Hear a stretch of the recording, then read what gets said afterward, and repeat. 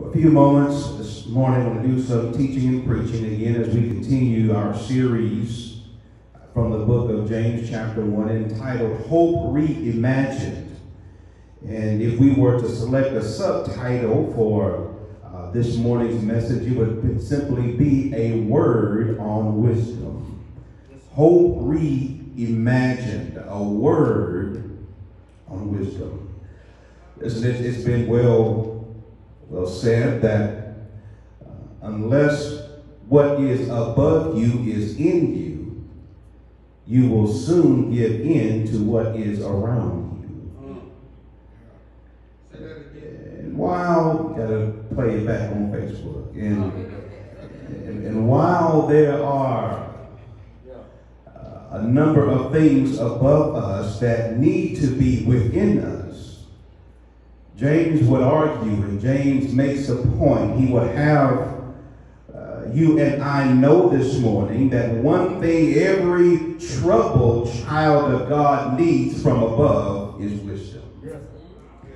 Uh, in verse in verse 5, as James continues this practical discourse to persecuted and scattered Christians who needed to grow in their matured response to adversity.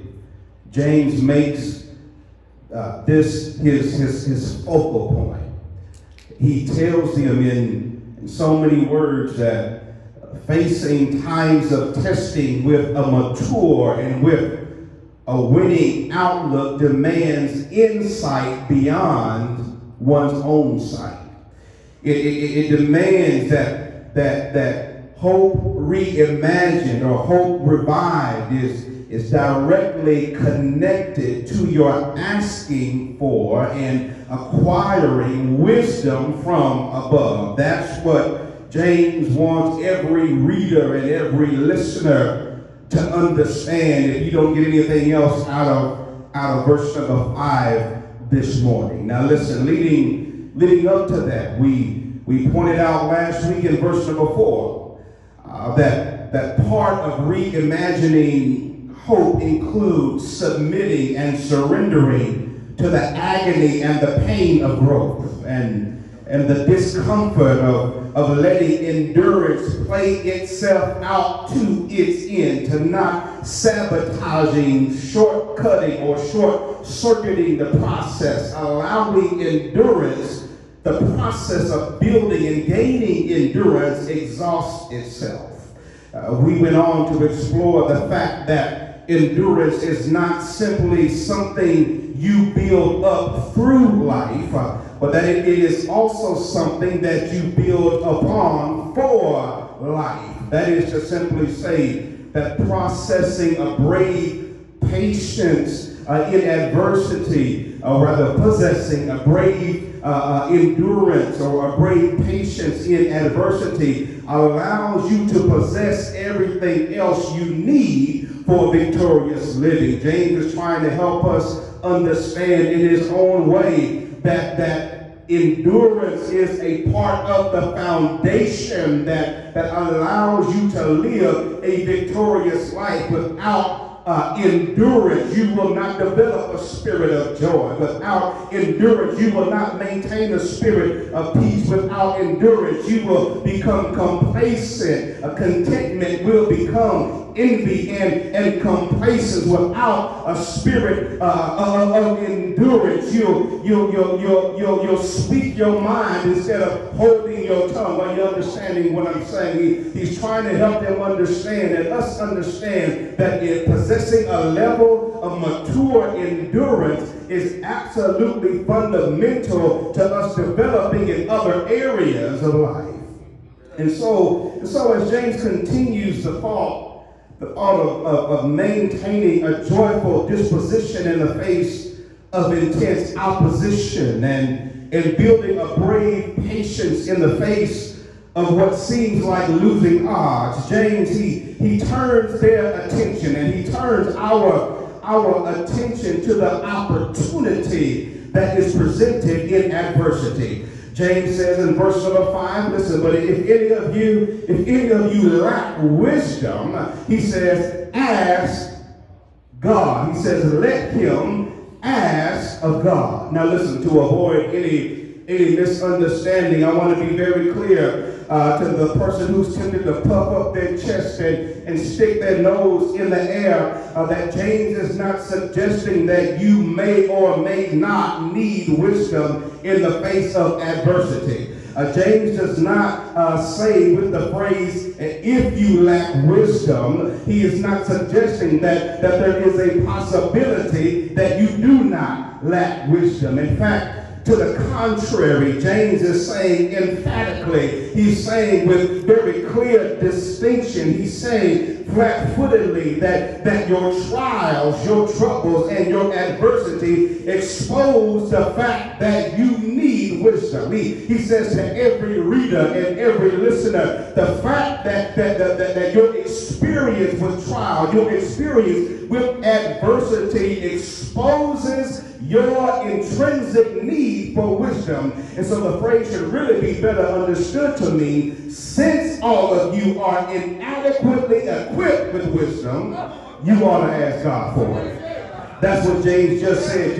James, is not leaving up for discussion. He is not leaving up for debate. James is making a point that since you, in fact, are inadequately equipped, you need to ask God. You need to ask God for wisdom. Now, now listen, if you're looking for a good functioning concept of what wisdom looks like as, as it is used here in this context, I want you to understand that wisdom, wisdom could be described as, as truth uh, that, that, that you act upon. It is, it is knowledge that you apply practically to live the victorious life in your trials. Wisdom uh, is being led by God in your will and acknowledging God in your walk. That's that's what wisdom is. It is being led by God in your will and acknowledging God in your walk. Wisdom is not just a matter of head knowledge and understanding. No, wisdom, as, as James is communicating it here, is the ability to rightly use knowledge and to skillfully apply understanding for God-centered living in your life. It is, it is the, to, to meaningfully materialize God's method of living. It is, it is a matter of using sound spiritual strategies to arrive at your decisions. That, that is what James is communicating here with this concept and this idea of, of a person who lacks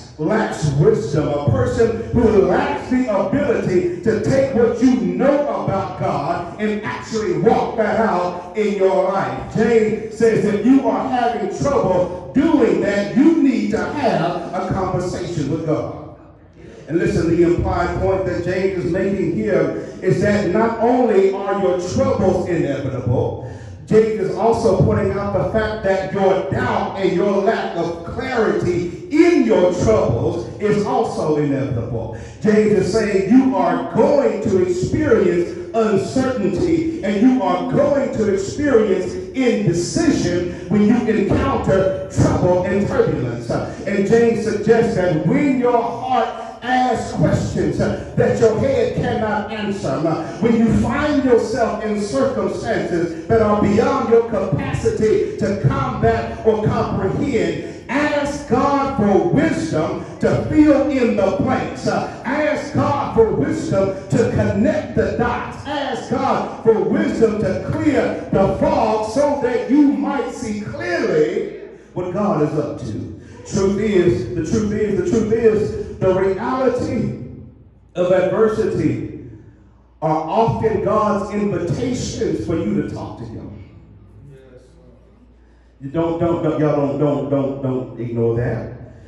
But the ugly truth is, the reality of adversity is often God's invitation to you to begin talking to Him. When you start asking questions like, what's next and where am I? God said, I got you right where Um, now, now it's time to have a conversation. Sometimes God uses the conflicts and the crisis in your life as conversation starters. Praise God between between you and your God, and, and as He uses them as your, your opportunity to ask Him for wisdom to meet the task that you're facing. It's your opportunity to ask God for clarity about where you are and where you're going, who you are and who he wants you to become. It's the occasion to ask God for sight and insight to see your way through and give you the discipline and the courage to hold up under adversity. It's your invitation to ask God to deposit wisdom. It's your invitation, it's your opportunity to ask God to, to, to meet your need, to, to meet the, the, the task that is facing you, to, to deposit wisdom, watch this now, and to maximize and not waste the opportunity to grow and to mature. God, God said, listen, listen, I know, I know you freaking out and you tripping out. I know it's hard and I know it's turbulent and there are more questions than there are answers. But don't miss the opportunity to maximize the trouble and the trial. Don't, don't, don't be so caught up in the trouble that you miss the opportunity to grow and to mature. And the way that you grow and the way that you mature is to ask God to help you walk out what the Word of God is speaking. But watch this. Watch this. What ought to, what ought to, what ought to, to give you hope reimagined is the fact that God joyously responds to our request for his wisdom. James says it like this in verse number five, and I'm trying to hurry. James says in verse number five, God gives wisdom to all generously.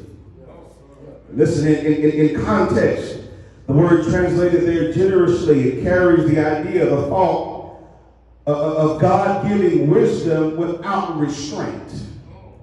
Carry the idea of God giving wisdom without reluctance on a continuous or a continual basis. That is to say that God graciously, God without reluctance, God without restraint pours out wisdom and keeps on pouring out wisdom if you ask. James says that God's wisdom is given to his children without condition. That's what he, he's trying to help you understand, you and I. He, he gives it without condition. He gives it without reservation, without hesitation, and without calculation. He, his offer is boundless, it's, it's bottomless, and it is without bias. Wisdom from God does not have to be pried out of his head. And he doesn't have to be convinced whether you are in the heat of the crisis or in the cool of the calm. No sincere seeker is sent away empty. No cup seeking wisdom is sent away empty when you ask in sincerity and seeking to understand. He says he gives wisdom to everyone without compromise generously. But watch this. This is the preaching point here. Uh, uh, uh, for, for, for hope reimagined, it, it is that that God is. Ooh, this is this is the part I, I love about God, and you ought to love about Him too. But what James is is, is really getting at here is the fact that God is predisposed to giving wisdom to his children. What, what, what, are, you, what are you talking about? I'm saying it is a part of God's nature to generously give. In other words, in other words, God, He can't help but to give. He is compelled. It is something that He must do. He doesn't feel like Himself if He ain't giving. Uh, his, his, his help is offered because of who he is and, and who he has made us in him, what he has made you in him. And so, regardless of where you find yourself, God is waiting on pins and needles to pour out of, of, of, of, of, of, of himself all of the wisdom that you can think to pray and ask for. God's help is not is not uh, uh, predicated on on your worth. It's not predicated on your ability, your vocabulary, or your church Church of Christ prayer, or or your level of sorrow or strength. God is ready to give it if you will just ask.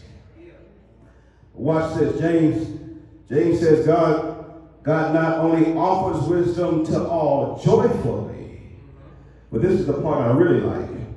Uh, he also offers it to all without judgment.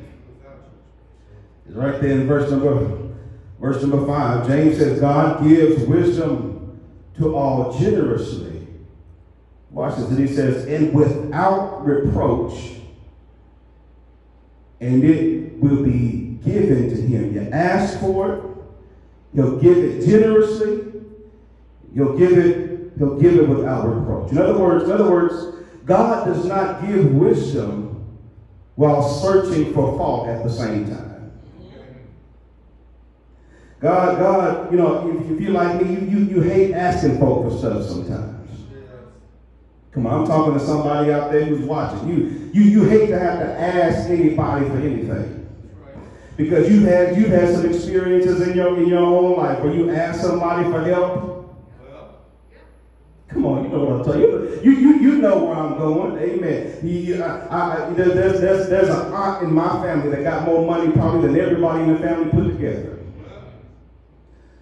Uh, but but but but when but when, when when family members found themselves in tight spots, they would rather cut their tongue out than ask her for anything because she had a way, praise the Lord, of, of, of letting you know just how sorry you were.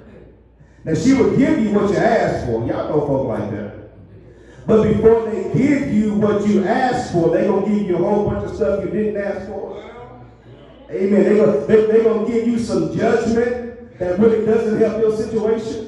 Say amen if you can. They, they, they have a way of making you feel worse than you were before before the, the, the, the crisis struck. But, but James is saying we don't have to worry about that about that with the Lord. God does not give wisdom while searching for fault at the same time. He, he does not humiliate you in the name of helping you. He will not respond to your reaching out to him with reproach from him. His goal is generosity with no strings attached, no expectation of a return favor. God gives just because he is God. He does not use our request as an opportunity to drudge up the past in his mind or cast a light on your immaturity or inadequacy in his psyche. He does not use the occasion to recall and add up your past mistakes uh, on his mental balance sheet. No, James says instead of doing all of that,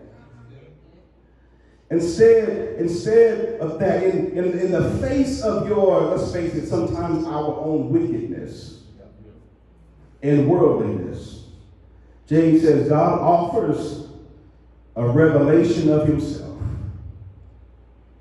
He offers a revelation of his, of his nature and of his character and of his essence. And he he demonstrates his love in our trials and our troubles by pouring out his wisdom. In other words, that's what that's that's part of what James is is, is helping the people that those Hebrew Christians understand there that that one of the ways that God demonstrates it, I'm gonna put it to you like this. Let me let me rewind it and give the old the old cliff translation. Sometimes God does not answer your request for relief in trouble by offering material and tangible things that seem to be a remedy. Uh, some of us find ourselves in trouble and we ask God for more money. Mm-hmm. Some of, of us find ourselves in trouble and we ask God for a new relationship. Mm-hmm. Some of us find ourselves in trouble and we ask for a, a change in circumstances, a diff, uh, uh, uh, another, another occupation, another employment opportunity. That, that's, how we, that's how we expect and look for God to show his love. But James is trying to help us understand here that one of the ways that God manifests his love when we are in trouble is not so much to bail out, but it is, it is, it is a pouring out of wisdom. I know that's not sexy and I know that's not pretty. But the reality is that that is, that is how God, that is one of the greatest blessings that God can give us when we find ourselves in trouble. It is the ability to walk out and to live out the principles in the Word of God. Because when we learn to live out and walk out the principles of the Word of God, right? the other stuff begins to fall into place. So James says, if you lack wisdom, I'm done. Y'all can't take no more of this. I lost you right there. I wanted, I wanted rims and a chain. You talking about wisdom, preacher. Uh, James say, you find yourself in trouble. He says you lack, he says you lack wisdom to navigate the trouble. He says the, the ex- expected remedy the expected response from you is continuous, continual, consistent prayer for insight and stamina. Not just, not just understanding, but the ability to live out what you understand. So I'll leave you with that, that question. What are you, what, what, what challenge are you asking God to give you the wisdom the wisdom to meet. God says, listen, the reason you don't have it, the reason you don't have it is because you haven't asked for it. God says, I've, I've, I've been waiting on pins and needles to, to pour out my richest blessing of wisdom upon. And all I'm asking you for, all I'm waiting on, is for you to, to, to, to trust me, to turn to me in your uncertainty for direction and for guidance. There's somebody, somebody watching you, you, you, you need wisdom now more than ever. The storms are raging around you and you don't know you don't know what's going on. You don't know up from down, and you don't know left from right. You don't know what's next, and you're not sure what exactly happened behind you. God says that's that's my way of starting a conversation that I've been meaning to have with you. There's some things that we need to discuss. There's some things we need to talk about. I've, I've, I've placed uncertainty and instability in your atmosphere. Because I need you to come to me. I need, I need to talk. We got some, some catching up to do. So we invite you this week, if you find yourself in, in the storm, to seek God for direction, seek God for perspective, seek God for insight, seek God for wisdom, and seek God for strength overcome and to endure. That's our prayer for you. If you need prayer this morning, we invite you to leave a comment. We'll, we'll pray with you this, this week. We'll pray for you. If you recognize that you are in a place where you are a guilty distance from God, you, you recognize that, that uh, you, you've tried to navigate these storms without the presence of God we invite you to receive Him, to obey Him this morning, to become His child this morning through faith and through obedience. Acknowledge God is who He is. Acknowledge what He's done. That He lived, suffered. Jesus Christ lived, suffered, and died for you. Change your mind. Change your attitude. See, I don't want the way I've been living. I know it's not right. I've been knowing it's not right. I'm not, I don't want to live like this anymore. I want to. I want to change direction in my life. I want to change trajectory in my life. I want to live for Jesus. I want to live for God in a way that pleases and glorifies Him. I've tried worldly wisdom. Now I, I need that wisdom from above because there's too much around me that's in me. And I can't. I can't get where I'm going. This is where I want to go. This way.